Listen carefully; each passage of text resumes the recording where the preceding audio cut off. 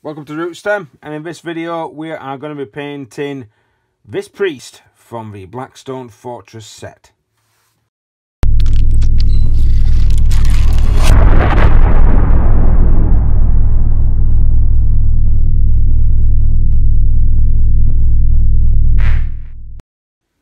Right, first off then, I've got the model, I sprayed it glue and Zenithal highlight with Grey Seer.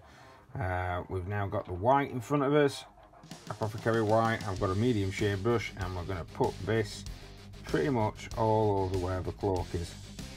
Don't worry too much if you spill it onto other stuff, we're going to correct that later.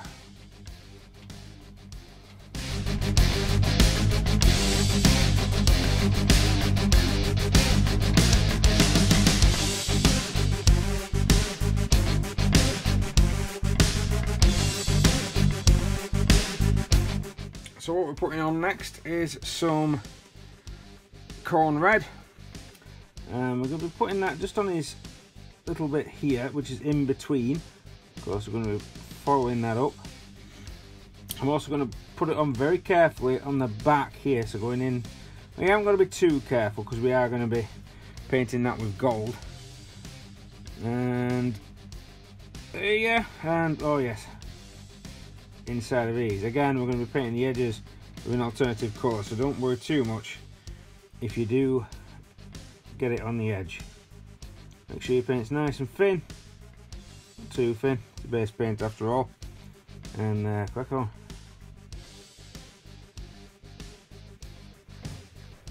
And now I'm going to go back, because what I should have done is done this first. Get some Rhinox and paint the book and satchels. You'll need two finished coats of this.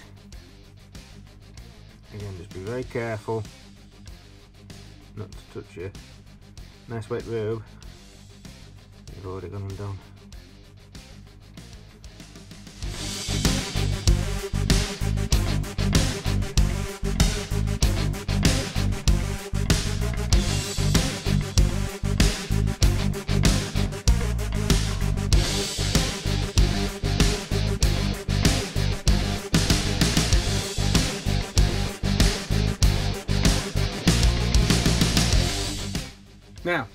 I've got the red, this is why I said you should do the brown first, the red and the brown together, I'm just kind of doing a bit of a mix. And that's going to be part of the book. So I'm just going to paint it on, not including any sort of recess. I'm trying to give it like a red-ish, kind of that encyclopedia, if any of you guys are young enough to remember those books. An encyclopedia style on the box itself.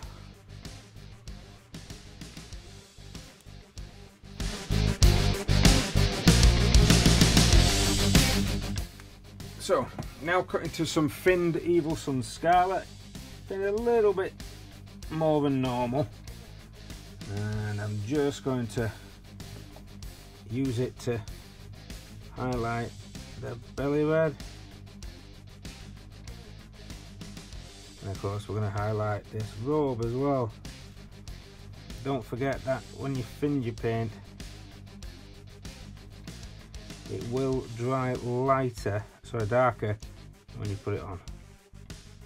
Sometimes if you put it on and you're like oh my god there's too much don't worry it will dry. If you want to put a second coat on please do. That's what the book looks like if you can see. I'm going to put a little bit of this as a corner highlight on there.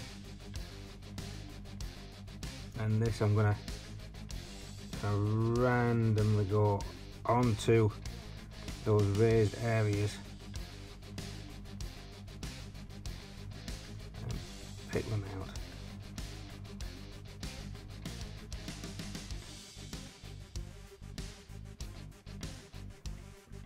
a little bit of thinned down Mournfang brown now. We're going to just paint in the satchel bag. Leaving the recesses.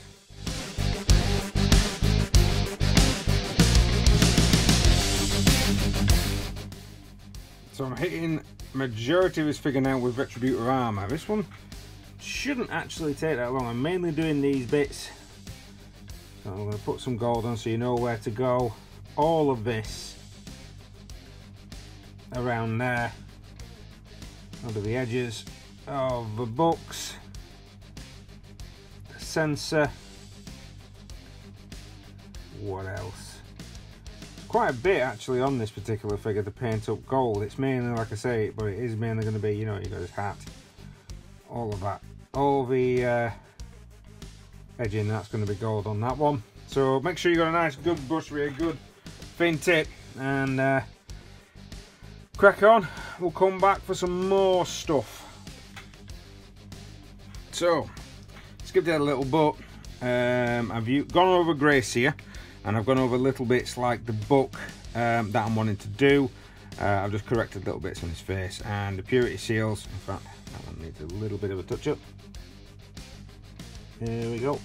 I've gone over the purity seals again to make sure that they've got the Grey Seer on I've then mixed Ushabti bone and Grey Seer together. Um, a little bit more Ushabti bone than Grey Seer but I wanted a very light sort of creamy grey in this sort of edge bit here.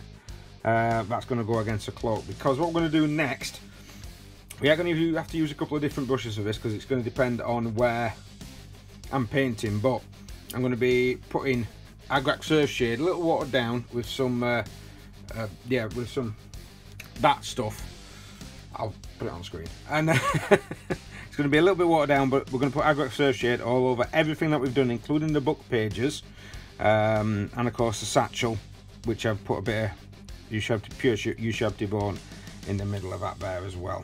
So that is going to be just covered now with Agrax Shade, and that's going to give us a lot of the shade for this particular, for this. Now for this step, let's get rid of the old paints, I'm going to be doing different proportion sizes. So um, for the book pages, we're going to do one part Agrax and about three parts or two parts Lahmian Medium.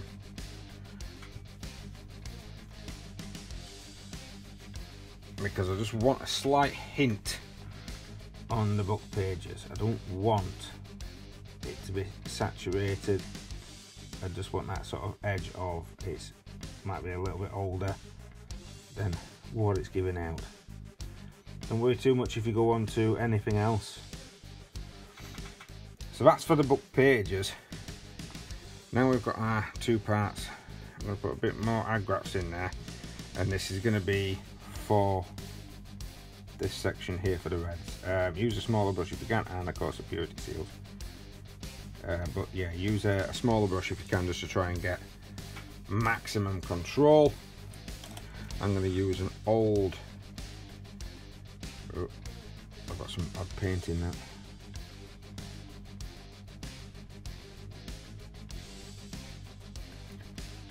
and just make sure none of that gets white and then when you've done all that I want you to use pure Agrax Earthshade uh, on the gold and the browns so while we're waiting for the Agrax Earthshade uh, to dry let's get some silver out and ready and we're going to paint the handle and I'm actually going to paint because there's a lot of mechanical bits on that all of that skull and all of that gun is also going to be painted in silver details.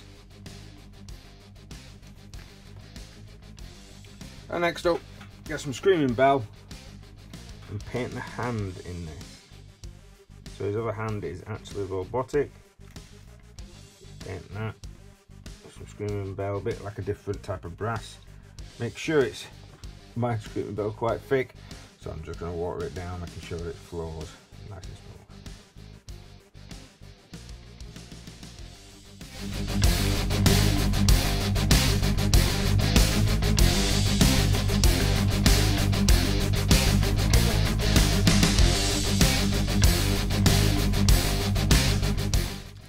Of course, now everyone's favourite, Nuln Oil.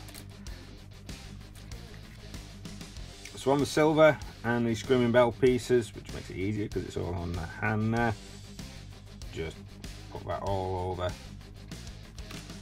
and the same for this on this side. Onto your contrast paints now.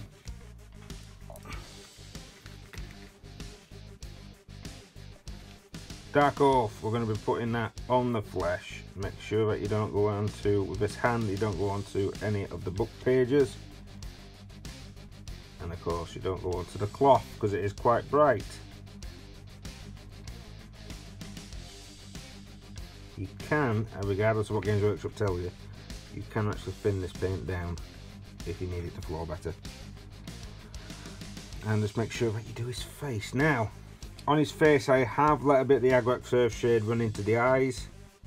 That's simply because it'll give it a darker perspective. You can do that or you don't have to. It's completely up to you.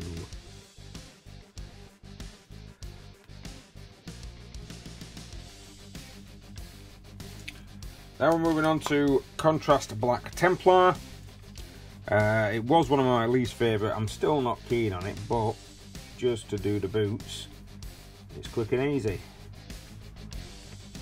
Because when I do the basing properly, the boots will probably be muddy. So I don't want to spend too much time on them because I'm kind of covering it up.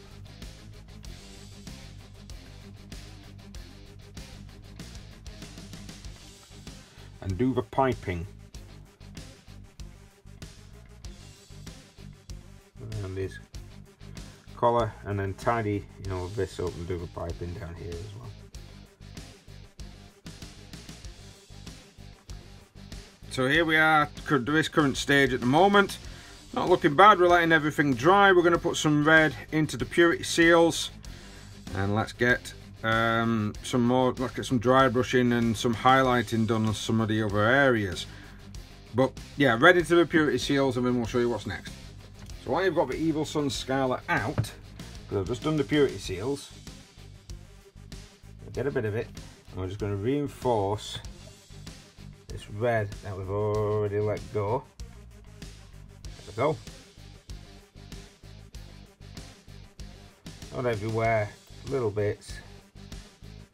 Just bring it back up in sections to what it was like before. Make sure your paint's nice and thinned. Not grabbing everything, we're just grabbing bits of it. It's actually red. So now we're going to use two different types of highlighting the silver. The first one is going to be Necron Compound. We're going to dry brush, not heavy dry brushing, but at least a little bit of dry brush. We're going to dry brush onto the bigger, flatter areas that you can get to. So for example, I would dry brush it onto his mace and a bit of his hand. So all that can be dry brushed it up. Even now, I don't know if you're picking that up on camera, but I can see that that's changed. a dry brushed the weapon, but make sure you hold it. Make sure you hold that weapon. I've also put a little bit of uh, Grey Seer back into the eye socket.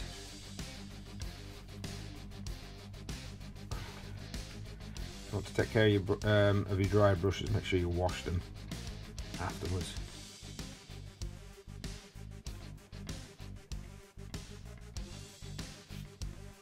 Use Master's brush stroke myself. Now, for, for gold, we're still going to be using Necron Compound just gently caress it across. Make sure you're not catching any of that red. And that will give a nice silver edge to the silver parts. Now the little tiny silver parts and little tiny gold parts I'm not going to dry brush because I can't get to them. It's too fiddly so we're just going to use some Stormhost Silver, wet palette in hand. All we're going to do, going to use my really thin brush and I'm just going to do a little bit of edge highlighting. This can be a very funny colour, so if you've got a ball bearing in there, it might be a better idea. Mine's not really coming through. But if you just touch up some of the silver pieces,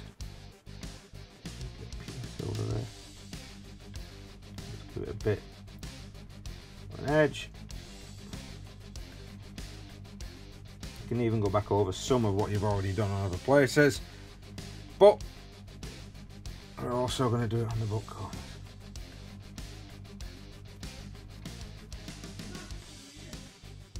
Wicked. That's just ruined my whole entire video, folks.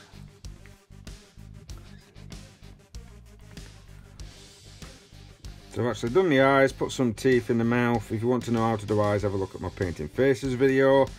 Uh, because I hate trying to show it on camera, it never goes right. So now we're going to have to do some text on here. Now in previous videos I've done, um, I use flesh wash, but as pointed out to me, not everyone get access to it. It's a very old paint. So let's do an alternative. So the alternative I've come up with is Wyldwood with a little tiny bit of technical contrast paint in a wet palette simply because I want a bit of water. Now this, using a very thin line, replicates very similar effects as the flesh wash. So I've got my brush, I've got a very very thin line towards the edge there. I'm just gonna, once I touch the paper area, and all I'm doing is like little tiny scratch like lines and that basically makes it look like something is written on the page.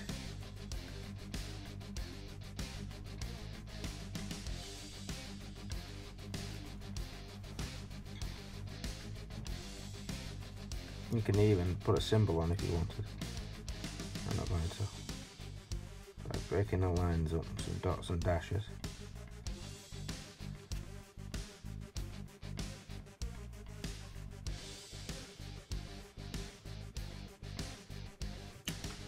and I'll be honest I'm going to consider that done.